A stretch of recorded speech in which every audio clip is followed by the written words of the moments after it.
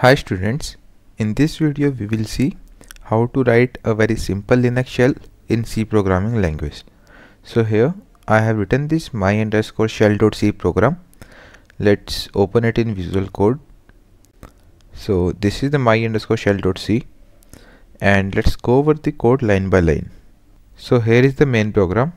First of all, what do we want our MyShell program to do? We want our MyShell program to first display some prompt to the user and then take command from the user as an input. And then it should execute that command and again show another prompt to the user to take in another command and repeat.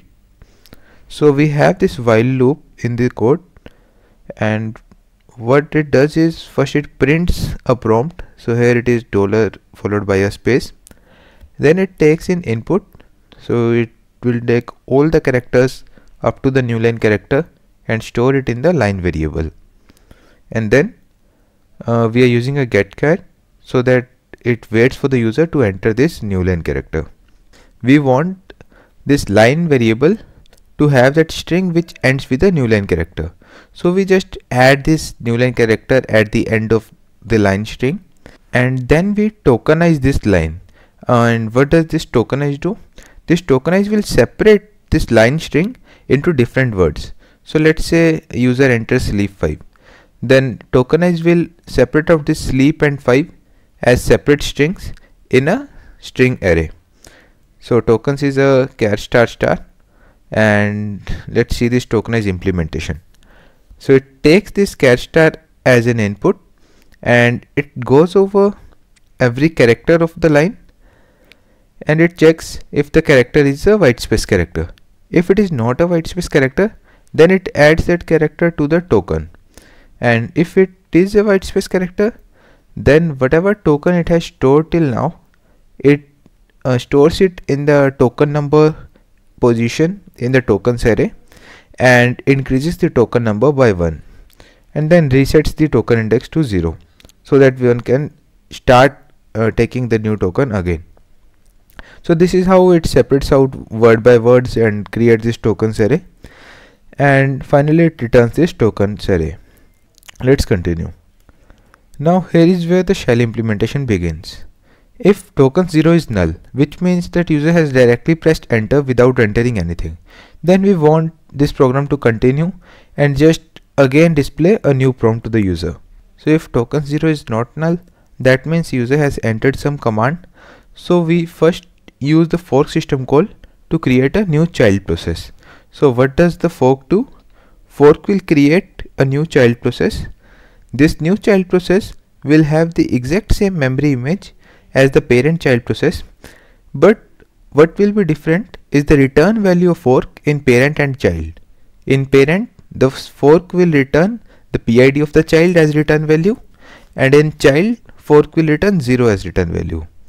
So here we have different conditions based on FC. So if FC is negative, which means that fork has failed due to some reason, then we just print in the std error unable to create child process. Otherwise, if FC is 0, which means child will execute this part of code, we are using this execvp system call. Now what does this execvp system call do? execvp system call is just a variant of the exec system call. It takes in an executable name as the first argument and all the arguments that are to be supplied to that executable as second argument in an array form. And then it searches for this executable in the Linux system. And if it finds the executable then it will reinitialize the memory image of child process with the code of this executable. And in case this execvp fails and it is unable to find this uh, executable in the Linux system then the control will reach here and the child will print command execution failed and then it will exit with the return value of 1 and what does parent do? Parent uses the wait system call to wait for the child to exit. And once the child exits parent reaps the child and clears all the memory which was used by the child. So here we just free the memory which was allocated to the tokens array.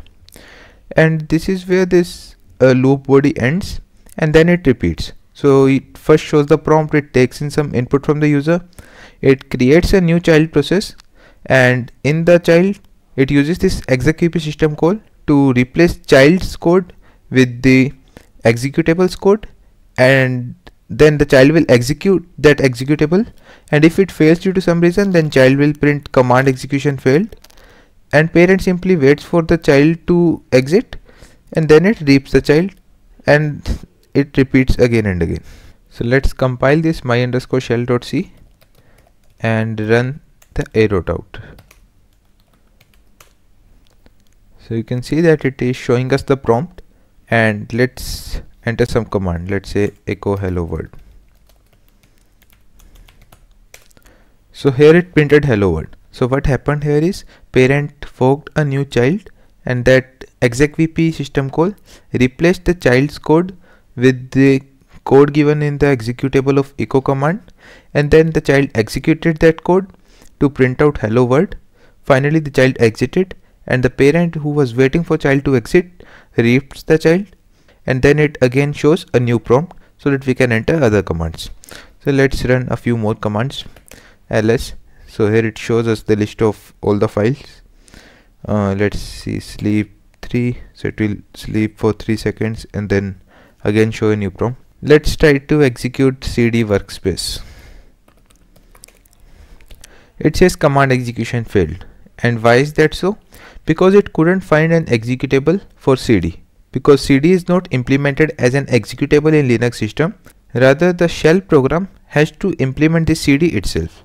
So what we can do is we can check if token 0 is cd and if that is so then we can use the chdir system call to change the directory to implement this cd command.